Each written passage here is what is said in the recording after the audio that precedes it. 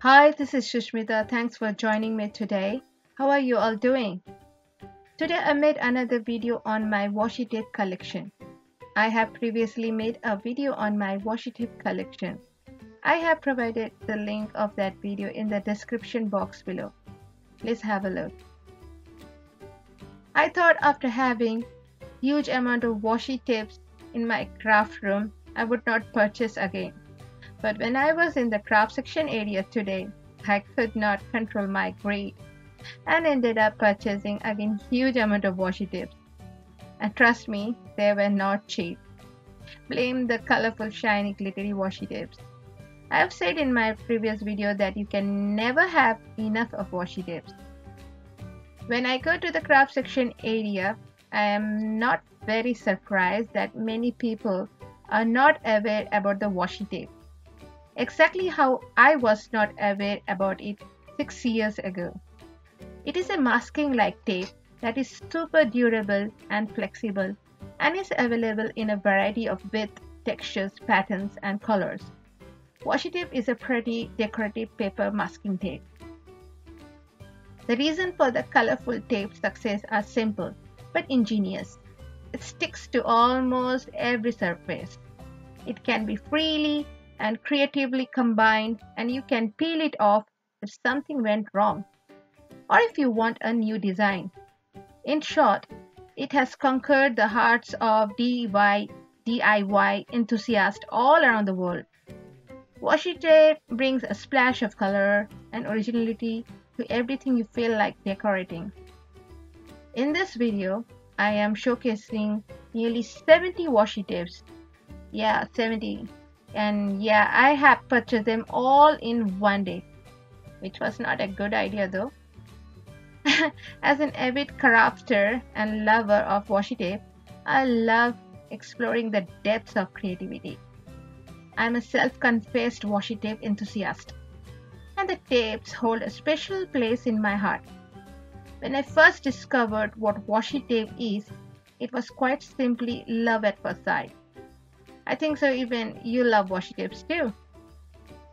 And the washi tape videos that I see on YouTube, my god, when I compare mine with them, I can tell you I really don't have that many. But anybody who's starting to, you know, collecting washi tapes, yeah, in that regard, I have lots. The excitement of being able to fill notebook spaces and walls to name but a few, with striking colors and designs, had my creative heart racing. As you can see, I have tapes of different sizes and widths. Some are colorful and some are just plain. Some are very glittery and some are shining with holographic shine added to them.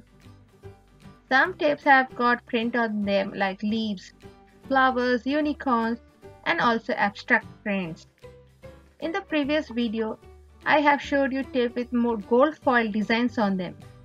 But in this video, I have more silver apart from other plain backgrounds with printed images, as well as, uh, as, well as polka dots, stars, arrows and stripes. Some washi tape have got sentiments, has um, travel related words, which I would love to use according to the picture I would be using in my scrapbook. One particular aspect of washi tape is that I personally find so inspiring lies within its origin story. It is a story of art, passionate creativity, and the act of finding divine beauty, even in the tiniest of details. A surprising fact is that the tapes are not always made outright from washi. Yes, true. However, it is the washi-like designs, lightweight, and the texture that gives them their widely accepted name. While the term washi tape is popular throughout the West, but you know in Japan, the tapes are simply known as masking tape. So do let me know which washi tape you have liked the most in the comment section. If you have liked my today's video, then do give me a like and if possible subscribe my channel for more videos. I do variety of videos, not only scrapbook, scrapbooking, card making, I even do paper crafts. So Till then, have a good time and take care. Bye.